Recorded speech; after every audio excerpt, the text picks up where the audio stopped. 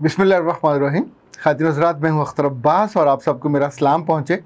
आमतौर पर जब हम अपने दोस्तों से मिलते हैं, अजीज़ों से मिलते हैं, अपने बेटों और बेटियों से मिलते हैं तो हम उनकी ज़िंदगी का हाल हवाल पूछते हैं।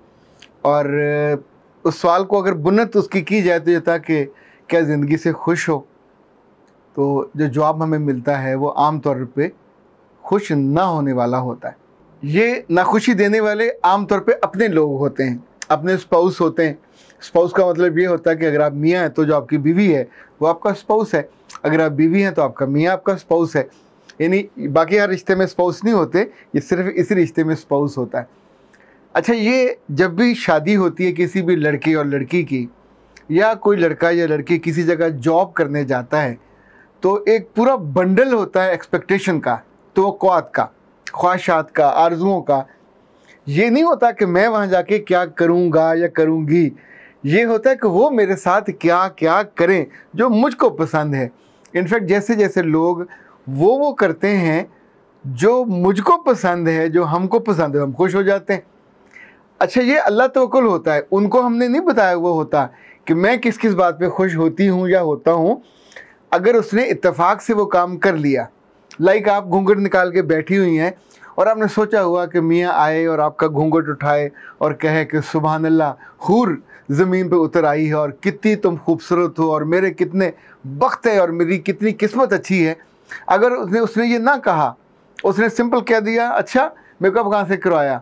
और या इस पर कुछ हल्का फुल्का और कोई तबसरा कर दिया तो सारी खुशी जो लाखों रुपए आपने खर्च किए, जो तैयारी की, वो सब गलत हो जाएगी। क्योंकि आपकी तो का जुमला नहीं कहा गया।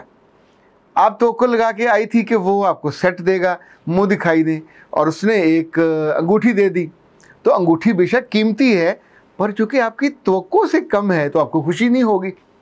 इसी तौर पे किसी ईद शबरात पे मियाँ ने आपके लिए आठ दस हज़ार का तोहफ़ा ख़रीदा तो अब आपको रंग पसंद नहीं आएगा। अब आपको उस कपड़े का स्टफ़ पसंद नहीं आएगा। चूँकि आपने सोचा हुआ था, मैंने तो फ़लान जगह से लेना है। तो मैंने फ़लान ब्रांड का लेना है फ़लान कलर का लेना है। तो यहाँ भी अच्छा उसको तो बताया ही नहीं था तो वो कैसे आपसे, आपकी खुशी में इजाफे का बायस हो?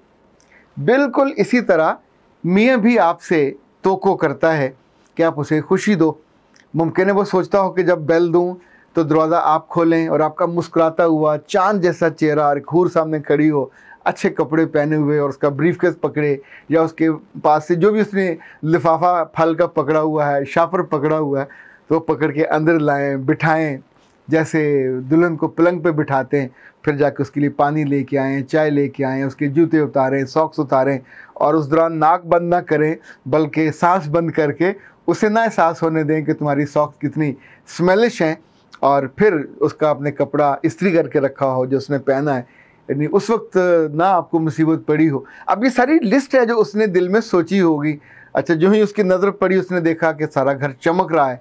तो it was according to the expectation घर गंदा पड़ा हुआ और आपने कहा, मेरी नींद पूरी नहीं हुई थी, मैं सो गई थी, आँख ही नहीं खुली और इसलिए मैंने सफ़ाई नहीं की। तो अब आप जितनी मर्ज़ी खूबसूरत हो तो तो को तो आपने तोड़ दी। मुझे लगा कि हम इसका को हल ढूंढें। तो हल मैंने जो ढूंढा है, आज हम वो डिस्कस करेंगे।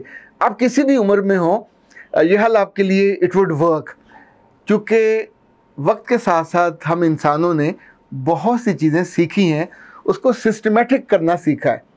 सबसे बड़ा सिस्टम अदारों में होता है, जिसे हम कॉरपोरेट के अदारे कहते हैं। आपको अंदाज़ा, वहाँ एक बंदा नहीं होता, दो नहीं, दस हज़ार, दस दस हज़ार, एक एक लाख बंदा होता है। तो अब एक एक लाख को एक एक बंदे की एक्सपेक्टेशन नहीं सिखाई जा सकती, समझाई नहीं जा सकती तो फिर इन चीज़ों को डॉक्यूमेंट कर लिया जाता है। डॉक्यूमेंटेशन ये होती है। अब एक बंदे को हम हायर करना चाहते हैं तो हम उसको बताएँगे कि वो बंदा कितना पढ़ा हुआ हो वो बंदा दिखने में कैसा हो कद कितना हो किस यूनिवर्सिटी से पढ़ा हुआ हो आपने कौन सा कोर्स किया हुआ हो और क्या क्या वो काम करेगा। तो इसको जॉब स्पेसिफिकेशन कहा जाता है। यानी दिस इज़ वट हमको ऐसा बंदा चाहिए। उसमें अगर लिखा है लड़का तो लड़की चाहिए उसमें लिखी लड़की तो लड़की चाहिए।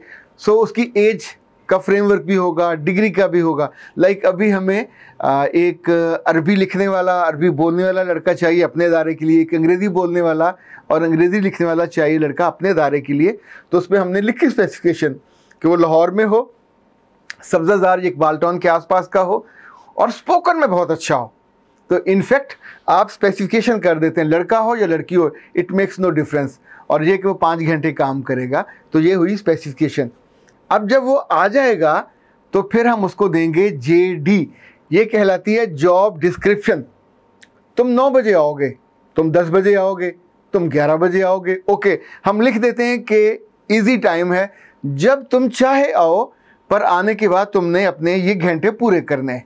एक ये सूरत हो सकती है।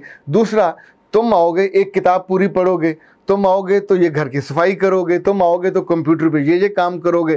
तो आपने पाँच, छह चीज़ें उसके लिए लिख दी कि शाम को जाने से पहले ये ये काम तुमने मुकम्मल करने हैं।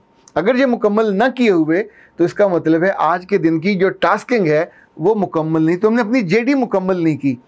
तो ये हमेशा अंधेरे में नहीं रखी जाती क्लैरिटी के साथ। अगर किसी को सीईओ बनाना है तो वो ये ये काम करेगा, कोई फिनेंशियल ऑफिसर होगा तो वो ये ये काम करेगा।